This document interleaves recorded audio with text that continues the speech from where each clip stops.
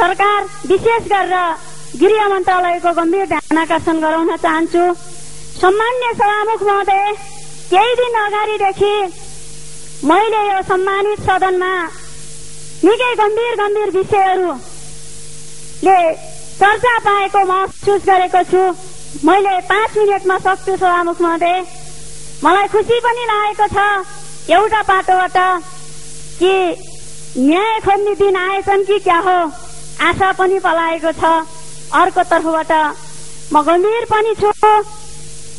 जनयुद्धकालीन घटनाहरूलाई लिएर व्यक्ति विशेषमा हामी राजनीतिक दलका सिङ्गो मुलुकलाई सहमतिको आधारमा राजनीतिक निकास दिएर नयाँ संविधान दिने एउटा महत्वपूर्ण मोडमा पुगेर हामी केही मसिना विषयहरू यसको मतलब मैले ओखलडुङ्गाका उज्जवल श्रेष्ठका परिवारको संवेदना काभ्रेका नेक्षका अर्जुन लामाका परिवारको संवेदनालाई मिनिमाइज गरेको होइन।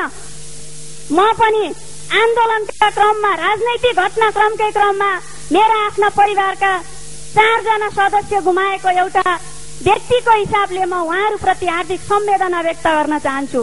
तर मेरो प्रश्न पनि छ सम्मानित सदन सम्मान सम्माननीय सभामुख महोदय मार्फत मैले आज एउटा नयाँ प्रस्ताव यहाँहरू समक्ष राख्दैछु सम्मानित सदन समक्ष उजागर गर्दैछु त्यो भनेको हामी सहमति खोज्दैछौ कि पछाडि गएर समीक्षा गर्दैछौ समीक्षा गर्दैछौ भनेदेखि मेरो प्रस्ताव एउटा छ सभामुख महोदय होइन हामी सहमति कायम गरेर अगाडि बढ्दैछौ भनेदेखि म एउटा एक मिनटमा एउटा घटनाको मात्रै संक्षिप्तमा संक्षेपमा म केही विषयहरू राख्न चाहन्छु।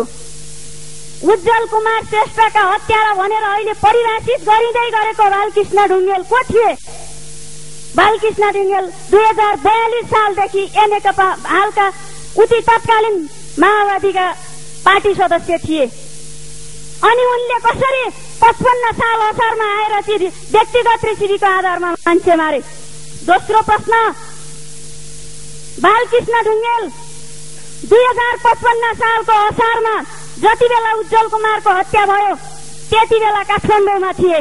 मेरो जिल्लाका कृष्ण प्रसाद सापकोटा क्यान्सर रोग लागेर दुई वर्ष अगाडि बित्नुभयो। उहाँलाई एपेन्टिसाइट भएको थियो। एपेन्टिसाइटको अपरेसन गर्नलाई ल्याउनु भएको थियो। अहिले पनि सायद त्यो हस्पिटलमा कृष्ण प्रसाद सापकोटाको एपेन्टिसाइटको अपरेसन गर्दाखेरि को थियो? अपरेसन गर्ने बेलामा शनाखत गर्ने भन्यो भने बालकृष्ण डुङ्गेलको सही भेटिन्छ होला। त्यो प्रमाण जुटाउ यसको मतलब हामी व्यक्तिगत दृष्टिको आधारमा हामी आज के भन्दैछौ? राजनीतिक नेतृत्व गरे बापत कता अर्जुन लामाका हत्यारा अग्नि प्रसाद सापको प्रस्ताव छ। दुई हजार उनासाठी साल असार दुई गते मेरो दाजु बहादुर खड्काको रौतहटमा हत्या भयो। पिपरामा जति बेला चन्द्रनियापुरमा सभा हुँदै थियो त्यहाँ सम्मानित भूपो प्रधानमन्त्री तथा अहिलेका चाहिँ नेता माधव कुमार नेपाल त्यहाँ भाषण गर्दै हुनुहुन्थ्यो। उहाँको सुरक्षाको लागि खटेका नेपालको पुलिस हो सेना हो अथवा उहाँका कार्यकर्ता हुन् म जान्दिनँ। अहिले पनि अमेन छ मारेर चाहिँ त्यहाँ बागमतीको खोलामा चाहिँ दाबियो मेरो दाजुको लास पनि भेटिएन म भोलि गएर त्यसका आधारमा माधव कुमार नेपाललाई किटानी जाहेरी दिन सक्छु मेरी भाउजूले दिन सक्छिन् मेरी आमाले दिन सक्छिन्। के हामी यसो गर्दैछौ? यति मात्रै होइन। दुई हजार चौन्न सालमा को हुनुहुन्थ्यो? प्रधानमन्त्री तपाईँहरूलाई थाहा छ। को हुनुहुन्थ्यो? गृह मन्त्री तपाईँलाई थाहा छ। एक महिनासम्म समाएर बेपत्ता गरेर त्यति बेलाको सरकारले मेरो इज्जत लुटेको छ। के त्यति बेलाको गृह मन्त्रीलाई म मुद्दा हाल्न सक्दिनँ? मसँग भोला रिजालले प्रमाणित गरेको रिपोर्ट छ। डक्टर रिपोर्ट अहिले पनि सुरक्षित छ। त्यति बेलाको गृह मन्त्रीलाई म मुद्दा हालौँ भोलि। हामी सक्दैनौ। पछाडि फर्किन खोजेको हो। हो भनेदेखि यस्ता हजारौं छन्। पूर्ण पौडेलकी श्रीमती यही सम्मानित सदनमा तपाईँहरू जस्तै आफ्नो श्रीमानको खोजीमा यही छन्। यस्ता थुप्रै बेपत्ता परिवारहरू यहाँ छौँ हामी। यस्ता थुप्रै हिजो अनावश्यक हत्या गरिएका मान्छेहरू यहाँ छौँ हामी। के हामी सबै पछाडि फर्किने हो? पछाडि फर्किने हो भनेदेखि जाउँ